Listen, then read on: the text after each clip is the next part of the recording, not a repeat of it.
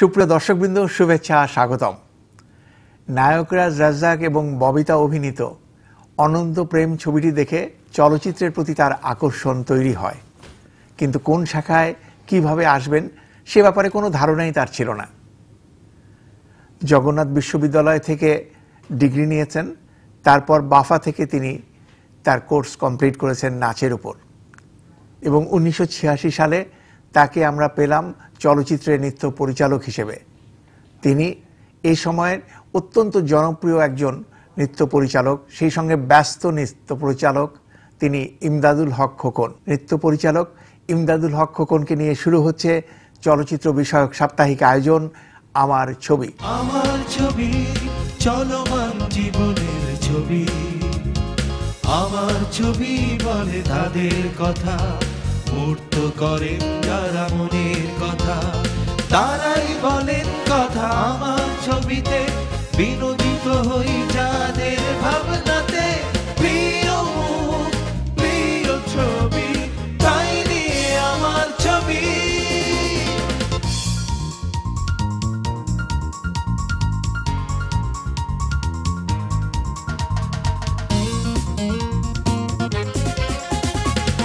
আঁকেন যারা স্বপ্নের ছবি, প্রিয় মুখ প্রিয় ছবি, আমার ছবি আমার ছবি, আমাদের চলচ্চিত্রের ছবি। উনিশশো ছিয়াশি সাল, এফ কবির চৌধুরী তৈরি করলেন বাহাদুর মেয়ে এই ছবির মাধ্যমে আমরা নতুন একজন নৃত্য পরিচালককে পেলাম আমাদের চলচ্চিত্রে। তিনি ইমদাদুল হক খোকন আমাদের আজকের অতিথি। কেমন আছেন? আসসালামু আলাইকুম। খুব ভালো আছি আলহামদুলিল্লাহ। খুব ভালো লাগছে আপনাকে আমরা অতিথি হিসেবে পেয়েছে। প্রচুর কাজ আপনার আমরা দেখেছি চলচ্চিত্রের পর্দায়। ধন্যবাদ এবং আমরা যতটুকু জানি এ পর্যন্ত প্রায় দু হাজার ছবিতে আপনি কাজ করেছেন। তো নৃত্য পরিচালনায় কি করে আসলেন? আমি বোধহয় একমাত্র বাংলাদেশের নৃত্যশিল্পী বোধহয় যে স্টুডেন্ট অবস্থায় শিক্ষক ছিলাম। আচ্ছা আচ্ছা। তো আমার স্টুডেন্টটা তো ওই জার্নালিজমে ছিল ও তখন। তখন ও নাচ করতো হঠাৎ একদিন আমাকে বলল যে স্যার আমি তো ফিল্ম জার্নালিজম করি তো স্যার, আপনি যদি, আপনি কি নিত্য প্রতি- লোকে গিয়ে ইন্টারেস্টেড আছেন? আমি বললাম হ্যাঁ আমি তো খুব ইন্টারেস্টেড বলো। বলো যে, এফ কবির চৌধুরী সাহেব, একটা ডান্স ডিরেকশন ট্রুপ বানাতে চায়। তো ওখানে কি আপনি কাজ করবেন? আমি হ্যাঁ করব। তো আপনি কি স্যার আমার সাথে যাবেন? উনি পাগলায় আপনাকে অ্যাপয়েন্টমেন্ট দিয়েছে। তো আমি পাগলা স্টুডিওতে গেলাম। খুব ভদ্রলোক ছিলেন তো, আল্লাহ ওনাকে ব্যস্ত নসিব করে তো খুব মিষ্টি করে হেসে বললেন, আমি একটা ডান্স ডিরেক্টর ট্রুপ বানাতে চাই। আপনারা তিনজন হোক, চারজন হোক মিলে একটা ডান্স ট্রুপ যদি আমাকে দেন। আমি নিশ্চয়ই দিব, স্যার। এই চারজনের নামটা যখন দিলাম, তখন উনি বলল, ঠিক আছে, আপনারা তাহলে আমার আগামী তিন দিন না চার দিন পর শুটিংয়ের ডেটটা দিল। তো আমার জীবনের ওটাই প্রথম স্টার্টিং ছবি। নৃত্য পরিচালক হিসেবে আমরা জানি যে আপনার একজন গুরু আছেন স্বনামধন্য গুরু আমাদের একজন প্রবীণ নৃত্যশিল্পী এস আলম ভাই। জি। আমরা যখন student Bulbul Bulbul academy fine arts তখন বাবু ভাই একটা গান করবেন আর কি। তো তখন বোধ হয় নৃত্যশিল্পী ছেলে খুব পাচ্ছিলেন না উনি। তখন আমাদের মিসেস রাইজা খান জুন আমাদের ওস্তাদ ওনাকে খবর পাঠালেন যে আপা আমি আমাকে কতগুলো বাফার থেকে ছেলে মেয়ে দেন। তো তখন আমরা ছেলে মেয়ে তো পাওয়া গেল না। তো আমরা ছেলেরা বারোটা ছেলে আসলাম। বাবুভাই সেন্ট্রাল ক্যারেক্টারটা করল আমরা ওনার সাথে কোরাস হিসেবে কাজ করলাম। এটাই প্রথম এফডিসিতে পা দেওয়া আমার। তো ওখান থেকে আমাকে শ্রদ্ধা আলম সাহেব আমাকে রিক্রুট করলেন যে তুমি এখানে আসো আমার একটা গান আছে করবা। এইভাবেই শুরু ওনার সাথে আমার। শহীদুল ইসলাম খোকন ছাব্বিশটি ছবি তৈরি করেছেন এবং এই ছাব্বিশটি ছবির মধ্যে পঁচিশটি ছবিতেই একক নৃত্য পরিচালক হিসেবে আপনি কাজ করেছেন। এই রেকর্ডটি অসাধারণ। সেই বিষয়ে যদি একটু বলতেন। আমি যখন সিনেমা আসলাম, তখন তো আমার প্রথম আর্টিস্ট মাস্টার সাহেব ছিলেন। তো উনি আমাকে দেখার পর বলল যে, ছেলেটা তো ভালোই করে। তো তখন উনি লড়াকু বলে একটা ছবি তৈরি করবেন, শ্রদ্ধেয় মাসুদ সাহেব। তো ডাইরেক্টর হচ্ছে শহীদ ইসলাম খোকন। খোকন ভাই একটা কথা খুব, আমাকে একটা দামি কথা বলছিল। আমি আপনাকে লড়াকুতে নিয়েছি, আমার পরবর্তী ছবিতে নেব, এটা কিন্তু আপনি কখনো এক্সপেক্ট করবেন না। এতে হয়তো আপনি দুঃখ পাবেন এই পাবেন আমি না করুন ভাই প্লিজ আমি ভালো কাজ না করলে আমাকে নেবেন কেন? এর তো দরকারই নেই যাই হোক আল্লাহর কাছে হাজার শুক্রিয়া। ছাব্বিশটা ছবিতে কাজ করছি একটি ছবিতে আংশিক তখন আমি পারি নাই আমার চিফ অ্যাসিস্ট্যান্ট গিয়ে কাজ করছে। প্রয়াত শহীদুল ইসলাম খোকন অত্যন্ত প্রাণবন্ত একজন মানুষ ছিলেন। ও ছিল একটা কমপ্লিট সিনেমার লোক। সিনেমা ছাড়া অন্য কিছু ভাবতেন না কখনো জীবনে দেখি নেই। আর ওনার সবচেয়ে বড় গুণ ছিল আজকে যে যেটা নাই বাংলাদেশে সেটা হচ্ছে উনি কিন্তু একটি স্ক্রিপ্ট নিয়ে আমাদেরকে নিয়ে একটু বসতেন। মানে একদিন দুদিন তিন দিন এই পুরো গল্পটা আমাদেরকে শোনাতেন। কার কোথায় ভালো লেগেছে কার কোথায় ভালো ভালো প্রি লাগে প্রোডাকশন মিটিং কথাটাই আজকাল উঠে যাচ্ছে। উঠে যাচ্ছে জি আমরা দুটো ছবির কথা একসাথে আলোচনা করতে চাই উদ্ধার এবং বীরপুরুষ জি। দুটো ছবিতে আপনি কাজ করেছেন। নাচের ক্ষেত্রে যদি বলি যে খোকন সাহেব কোনো ভিন্নতা আনলেন নৃত্য পরিচালক খোকন সাহেব সেটা কি বলতে পারি? আমরা যখন লড়াকু করলাম তখন কিন্তু না ছবি তখন কিন্তু বাংলাদেশের গান একটু স্লো ইন্ডিয়ান গান একটু ফাস্ট আমি খোকন দিন খোকন ভাই গান করি কিন্তু পর্দায় তো গান স্লো মনে হয়। কারণটা কি? মিউজিকের সাথে যায় না খোকন ভাই আমি একটু স্পিড ক্যামেরার স্পিডটা ভেরি করে গান করি। করবেন? মিলাইতে পারবেন আমি খোকন ভাই আমার মিলবে এটা। আমি রিসার্চ করে দেখি। তখন এটাকে রিসার্চ করলাম। রিসার্চ করে বীর পুরুষই প্রথম ছবি যেটাতে আমরা ওটা রিসার্চ করলাম। তোমাকে ভালোবাসি তুমি ভালোবাসো বলে তোমার কাছে আসি তুমি কাছে আসো বলে। এবার যে ছবিটির কথা বলব এটি একটি রিমেক কিন্তু আমাদের চলচ্চিত্রে আলোড়ন তৈরি করেছিল। কেয়ামত থেকে কেমন এখানে একটা চ্যালেঞ্জের কাজ ছিল কারণ যেহেতু আপনার সামনে একটি উদাহরণ রয়ে গেছে বোম্বের ছবি সেই ক্ষেত্রে নৃত্য পরিচালনা আপনি কি সেটাকে ফলো করেছেন কিংবা নতুন কিছু তৈরি করার চেষ্টা করেছেন এই বিষয়টি? ডিরেক্টরের অর্ডার ছিল যে ফলো করতে হবে তখন আসলে ফলো করাটা খুব কঠিন কাজ আমার কাছে মনে হয়েছে। তারপরে আমরা চেষ্টা করছি আমাদের আঙ্গিকে বাংলাদেশের আঙ্গিকে বাঙালি বাঙালিদের কিন্তু প্রেজেন্টেশন একটা অন্যরকম। আর সেই বোম্বের প্রেজেন্টেশনটা বাঙালিরা অতটা ওই টেলিভিশনের পর্দায় বসে দেখতে বোধহয় এনজয় করে আমার অভিজ্ঞতা থেকে আমি বলতে পারি। কিন্তু বাঙালি প্রেজেন্টেশনটা বাঙালি স্টাইলই হইতে হবে আমার মনে হয়।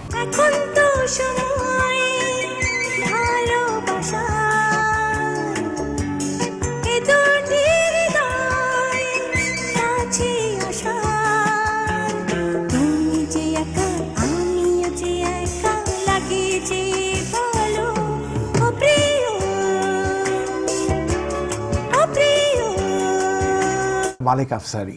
আরও একজন গুণী পরিচালক। তার ঘৃণা ছবিতে আপনি কাজ করলেন।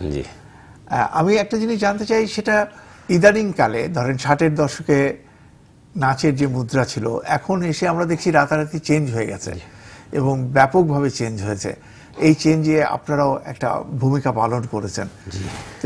আপনার পূর্বসূরি যারা ছিলেন বাংলাদেশে এবং আপনারা কাজ করছেন কোন জায়গাটা একদম আলাদা মনে হয় নাচের ক্ষেত্রে আপনাদের পরিচালনায়? আমি প্রথমে সিলেক্ট করি মালিক আফসারিকে কেন হি ইজ এ টেকনিশিয়ান মানে আমি টেকনিক্যাল সাইডটা যেটা বলেন, যেটা বিহাইন্ড ক্যামেরা ক্যামেরার যে কাজটা আমাদের করতে হয় এই কাজটা আমি কিন্তু কমপ্লিটলি আয়ত্ত করেছি মালিক আফসারির কাছ থেকে। ঘৃণা ছবিটা দেখবেন এমন কিছু ট্রেকিংস আছে এমন কিছু শর্টস আছে যেগুলো বাংলাদেশের ইতিহাসে হয়েছে বলে আমার মনে হয় ইভেন দ্যাট ইন্ডিয়া কলকাতাতে হয়েছে কিনা আমি আমি জানি না বম্বে দুই নম্বর ফ্লোরে একটা রেল স্টেশন বানিয়েছিলাম কিন্তু ওটাকে আমরা দেখাইছিলাম যে কমলাপুরের চেয়ে বড় একটা রেল স্টেশন জাস্ট টেকিংস আর কিছু না কিন্তু ক্যামেরার লেন্সের এফেক্ট দিয়ে। তো ওই ছবিটা করতে গিয়ে আমি অনেক কিছু শিখেছিলাম। এরপরে যে পরিচালকের ছবির কথা বলব জি।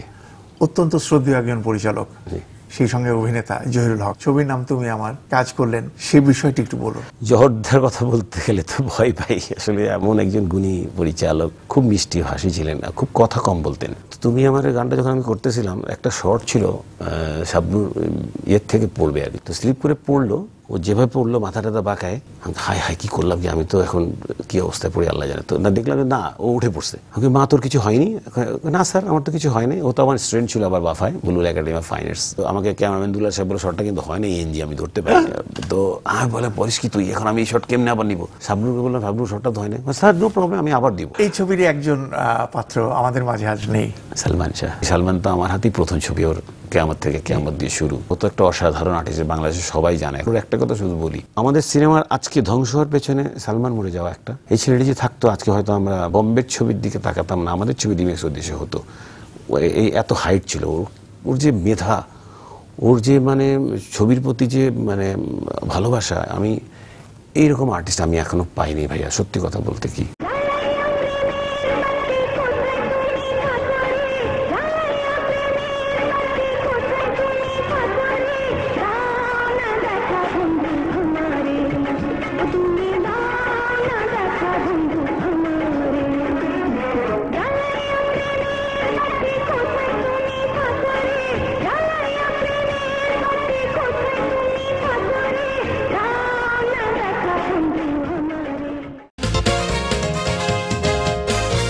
এবার যে পরিচালকের ছবির কথা বলব আপনি নৃত্য পরিচালক হিসেবে কাজ করেছেন উনি আমাদের অত্যন্ত একজন শ্রদ্ধেয় এবং আমাদের একজন প্রিয় পরিচালক মোহাম্মদ হান্নান।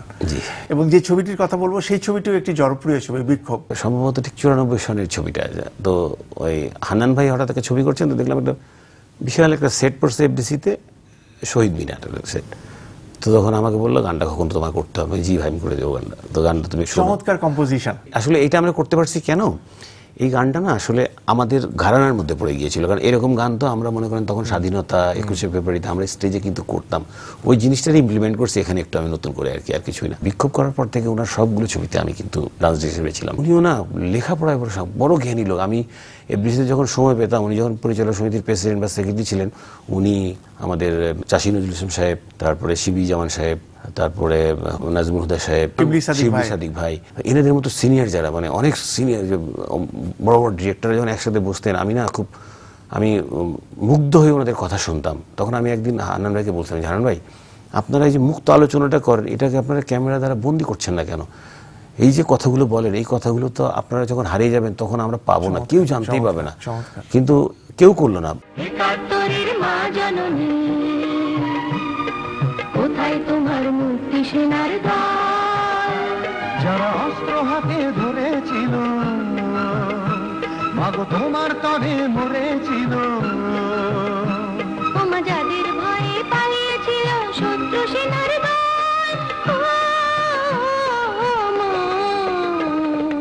একাত্তরের মা। জননী কোথায় তোমার মুক্তি সেনার দল? আমরা এবার বলব ছোটকু আহমেদ ভাইয়ের কথা। ছিয়ানব্বই সালে তৈরি করলেন সত্যের মৃত্যু নেই। এটু একটি জনপ্রিয় ছবি। এই যে এক এক দিনে দুটো তিনটা ছবির কাজ করছেনই করছেন বোরিং মনে হতো না। তখন কিন্তু একই মনে হতো না ভাই। আচ্ছা। সত্যি কথা বলি তখন কিন্তু ছবিতে আপনি দেখেন ডিফারেন্স টাইপের ছবি কিন্তু সবগুলো ছবি কিন্তু গল্প গান সবগুলো বৈচিত্র্যের কারণে বৈচিত্র্যের কারণে আমরা কিন্তু এই- এটা ফিল করি না। তখন কিন্তু মনে হতো কি জানেন আমরা তো আমার তো মনে আছে আমি সাত দিন বাসায় যাইনি আমি। মানে রাস্তায় যখন যে গাড়িতে আসতে যেতাম ওইটুকুই সময় শুধু ঘুমায় থাকতাম।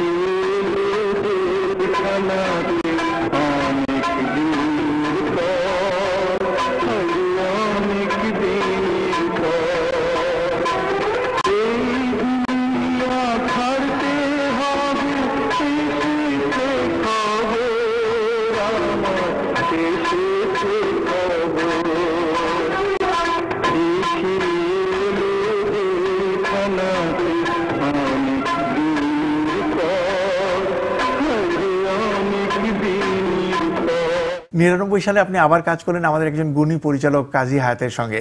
আম্মাজান ছবি আরও একটি বাণিজ্য সফল ছবি। এটা খুব মজার একটা ব্যাপার ছিল। আমি কিন্তু শিডিউল ডান্স ডিরেক্টর না ওই ছবির। ওই ছবির শিডিউল ডান্স ডিরেক্টর অন্য কেউ ছিলেন। হঠাৎ করে আমাকে টেলিফোন করল রাত্রেবেলা যে খোকন এই একটা ছবি করতেছি তুমি একটা গান করে দাও ভাই কালকে আমাকে। একটা গান সবচেয়ে কম সময় পেয়েছেন কিন্তু এক গানটা কম্পোজিশনে চিন্তা করেছেন সবচেয়ে কম সময় কতটুকু সময় লাগতে পারে? সাড়ে তিন ঘণ্টা করেছিলাম গানটা।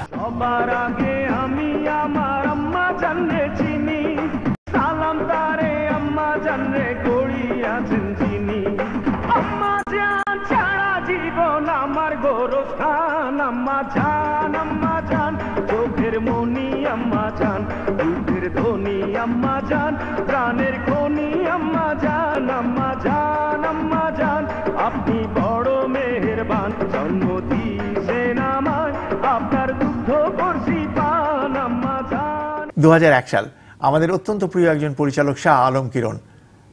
তৈরি করলেন চুরিওয়ালা এটা তো খুব মজার একটা ছবি। আসলে এই- ছবিটা করতে গিয়ে আমার অনেক অভিজ্ঞতা আছে। সবারই এই ছবিটা যারাই আমরা কাজ করেছি।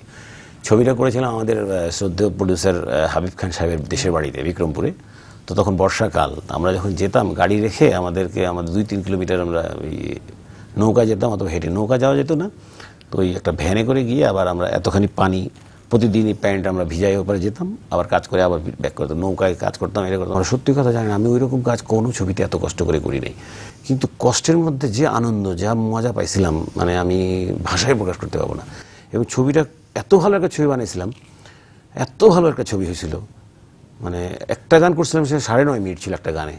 শুধু একটা বিয়ের গান ছিল ওখানে একটা সাড়ে নয় মিনিট সেই গানটা এত বড় একটা গান। কিন্তু আমার মনে হয় বাণিজ্যিকভাবে ছবিটি ততটা সফল হয় ততটা সফল হয়নি। তো কি আমাদের দেশে সফল হয়নি কিন্তু কলকাতাতে খুব ভালো চলছিল বলে। দুই কুলে দুই জনে আছি মাঝখানে এক নদী। নিত্য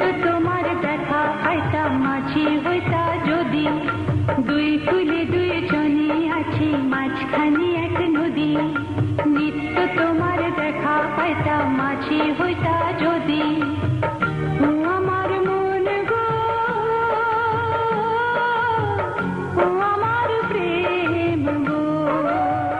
দুহাজার দুই সালের একটি ভিন্ন ধারার ছবি মেঘলা আকাশ নার্গিস আক্তারের ছবি। এই ছবিতে আপনি কাজ করলেন। শাবান আজমিও কাজ করেছেন এই ছবিতে বম্বে। জি জি। মৌসুমী একটা খুব ভাইটাল ক্যারেক্টার করছে তারপর আপনার রুবেল ছিল। রুবেল ছিল তারপর আপনার আমাদের ফেরদৌসী মজুমদার খুব চমৎকার একটা রোল করেছেন। বোথেলের চিপ হিসেবে কাজ করেছিলেন। আমি একটা দিনের কথা শুধু বলি তাহলে আপনি বুঝতে পারবেন এক কথায় শেষ হয়ে যাবে। একটা গান করার জন্য আমরা দুই দিন লোকেশন খুঁজলাম। লোকেশন খোঁজার পরে পাওয়া গেল মানিকগঞ্জের রাস্তায় যে একটা শটে আমরা ধরছি, ট্রাকটার উপরে ক্রেন রাখছি ক্রেনের উপরে ক্যামেরা রাখছি, রাইখা একটা শটই ধরছি, একই সিরিয়ালে আপনার প্রায় সাতটা আটটা তাল গাছ, এখানে একটা শট এই ভোরবেলা মানে তাল রস, রসের যে এটা তালের রস, ওই ওই শটটা নেওয়ার জন্য আমাদেরকে ভোরবেলা যাইতে হবে। তো আপা বলল যাওয়া নো প্রবলেম, চলেন আপা যাব আমরা। ওনার সবচেয়ে বড় একটা জিনিস হচ্ছে উনি কিন্তু সবসময় কিছু না কিছু নতুন তৈরি করার চেষ্টা করছেন এবং বোধহয় একটা মেসেজ সবসময় দিচ্ছেন।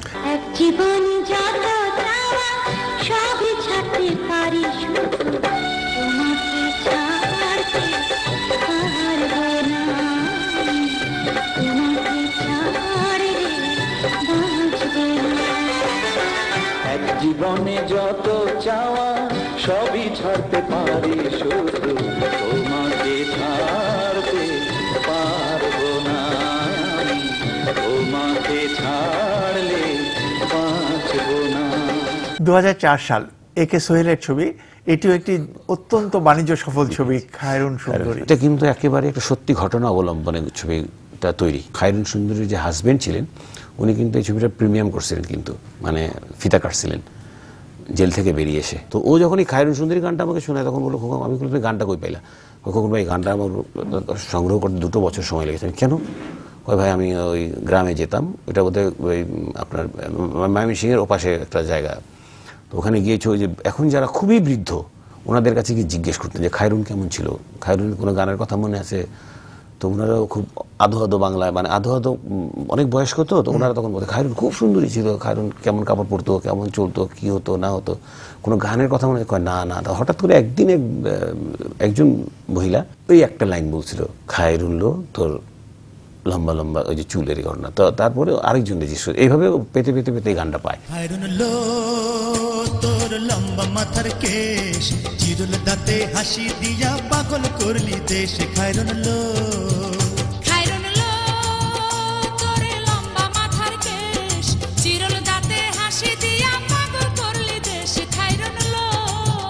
এবছরই মুক্তি পেয়েছে ওয়াকিল আহমেদের ছবি কত স্বপ্ন কত আশা। জি। চমৎকার কিছু গান আছে জি। এবং নৃত্য পরিচালকের দায়িত্ব পালন করেছেন আপনি। আমি এই গানটা করতে গিয়ে প্রথমে খুব জার্ক হয়েছে আমার। কারণ জার্ক হলো কেন? একটা হিন্দু মেয়ে পুজো ঘর। এটা তো আমি তো একজন মুসলমান আমার তো এটা সব টোটাল জানার কথা না। তো যাই হোক যেটুকু দেখার মধ্যে ওইটুকু তখন আমি বললাম আমাকে এটা এটা এটা দিতে হবে অঞ্জনদা। যেভাবে দেন আপনি দিতে হবে। যা দিল, তো ওইভাবে পরে তবে পরে গানটা পরে দেখার পরে দেখলাম যে, না, ভারী চমৎকার হয়েছে গানটা।